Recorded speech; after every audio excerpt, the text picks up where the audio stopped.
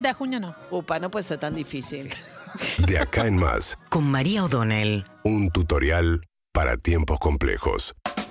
A ver, tema vacunas y tema inflación son los principales temas hoy que ocupan al gobierno nacional. En el tema de vacunas recibió, todos recibimos en realidad como país cierto alivio con la llegada de estos 2 millones de vacunas ayer, que supuestamente inicia una provisión más regular finalmente de eh, la vacuna de AstraZeneca.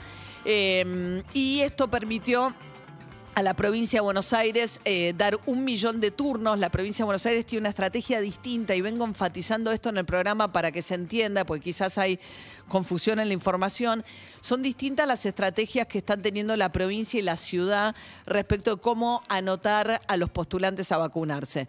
La ciudad de Buenos Aires va abriendo progresivamente eh, en etapas y de ahora, a partir de mañana o hoy, abre mayores de 18 con comorbilidades, con enfermedades que están dentro del listado que pone el Ministerio de Salud y que hacen que sean pacientes de mayor riesgo. La provincia de Buenos Aires, sin embargo, lo que hace es abrir a que todos, y está llamando a que toda persona mayor de 18 años residente en la provincia de Buenos Aires, que se anote. Luego, en la asignación de turnos, asignan prioritariamente los turnos a los que en la declaración jurada dicen tener alguna de estas enfermedades. Pero ellos dicen que eh, tener ya todo el mundo inscripto les permite ir más rápido cuando las vacunas llegan. La ciudad tiene otra estrategia. Incluso la ciudad está vacunando trabajadores y trabajadoras de comedores comunitarios, que la provincia no vacuna. La provincia está vacunando eh, embarazadas, que la ciudad no vacuna. En realidad que el plan nacional no incluye que la provincia está fuertemente alentando. Así que va a haber después que se termine, digamos, esta vacunación de mayores de 18 años con ciertas enfermedades, también la discusión de qué tipo de trabajadores, en función de la tarea que realizan, pueden tomar prioritariamente un lugar prioritario en la lista de los vacunados.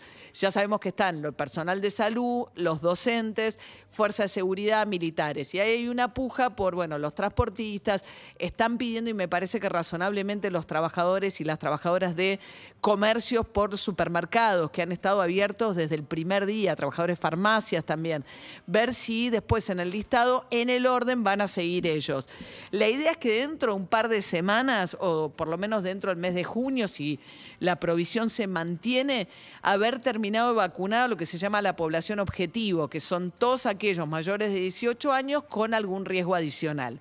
Después viene la discusión de la segunda dosis. Los que recibieron la Sinopharm, la China, tienen la segunda dosis. Los de AstraZeneca tienen en el escenario, por lo menos más rápido, la posibilidad de la segunda dosis.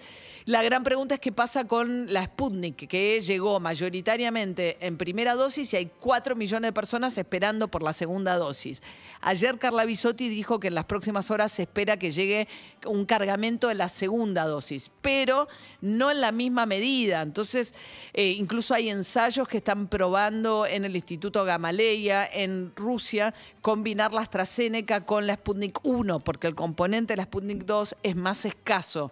Pero bueno, lo que insistía ayer Carla Bisotti es que no especule la gente respecto de anotarse en este o tal momento, especulando con que mejor me toca AstraZeneca que Sputnik, que en realidad es cierto que para tener chance de segunda dosis, hoy es mejor que te toque la AstraZeneca, pero dice mejor vacunarse que no vacunarse, sea cual fuere la vacuna. Eso por un lado. Y por otro lado, el tema de la inflación, que es el gran tema también de preocupación del gobierno por cómo golpea el bolsillo a los argentinos. A partir de este mes rige la eh, suba del gas, 6%, publicada en el boletín oficial. Y por ahora Alberto Fernández dijo nada más. En la discusión entre el Instituto Patria y Martín Guzmán, le dijo a Martín Guzmán, listo, con este nivel de inflación no vamos a meter ahora un segundo aumento de tarifas de servicios públicos, ya aumentó la electricidad. Pero fíjense, la otra gran este, eh, freno a la inflación que el gobierno busca ponerle es el dólar oficial tuvo en mayo la menor suba en 14 meses. El Banco Central le dejó subir el dólar solo el 1,2%. ¿Por qué? Porque uno de los factores que inciden en la inflación en la Argentina es la expectativa de devaluación y cuando se mueve el dólar se mueve la inflación. Pero vos tenés que el dólar no se mueve y así todo tuviste una inercia inflacionaria muy grande. Y para el mes pasado, el mes de mayo que cerró, se espera que esté cerca del 4%. Esa es la gran preocupación hoy del gobierno, sobre todo porque además se van desmadrando las paritarias. La mayoría de las paritarias cerraron al 35% buscando que si la inflación estaba alrededor del 30, incluso ganarle un poquito a la inflación, pero eso ya no va a pasar con las paritarias que cerraron en esos niveles. Muchas tienen cláusulas de revisión en septiembre y fíjense que ya están los Moyano, Hugo y también Facundo para el gremio de peajes, Hugo para camioneros, pidiendo el 45%, rompiendo el techo de esa paritaria y derribando lo que Martín Guzmán había definido como el gran objetivo de política económica para este año. Uno era que la inflación fuese menor a la del año pasado, que fue el 36%, y que los salarios le pudiesen ganar a la inflación.